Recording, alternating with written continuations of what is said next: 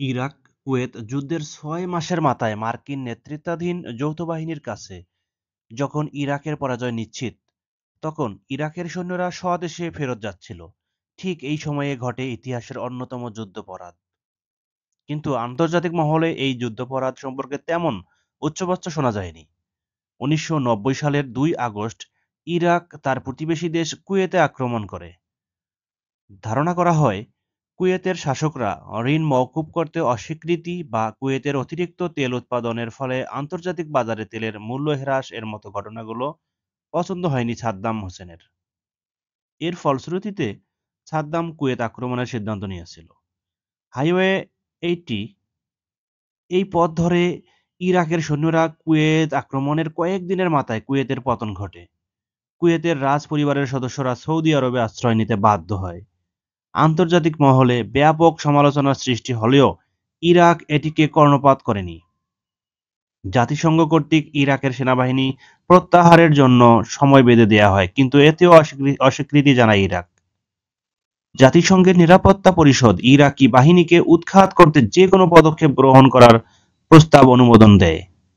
এরপরই মূলত ন্যাটোর যৌথ বাহিনী ইরাকি দখলদার বাহিনীর উপর আক্রমণ চালায়। শুরু হয় অপারেশন ডেজার্ট স্ট্রম যুদ্ধের শেষ দিকে যখন ইরাকের পরাজয় নিশ্চিত, তখন ইরাকের বাহিনী পশ্চাদপসরণ শুরু করে। হাইওয়ে এইটি এর পথ ধরেই ফিরে আসতে শুরু করে তারা।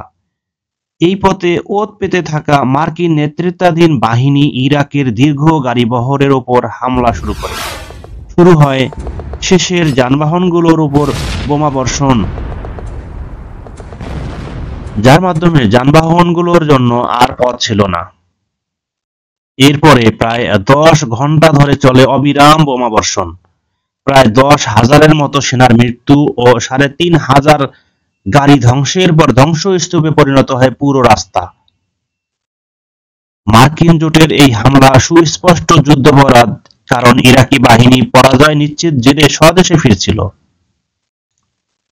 কিন্তু এই যুদ্ধপরাধ নিয়ে কখনোই উচ্চ বাক্য শোনা যায়নি আন্তর্জাতিক মহলে। তাহলে কি পশ্চিমাদের সব অপরাধের কোনো বিচার নেই?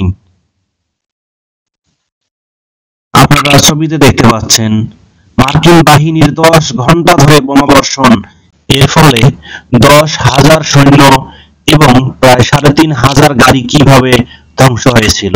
দশ হাজার সৈন্যকে বোমা দিয়ে উড়িয়ে দেয়া এবং সাড়ে তিন হাজার গাড়ি ধ্বংস করা এটি কোন ধরনের মানবতা?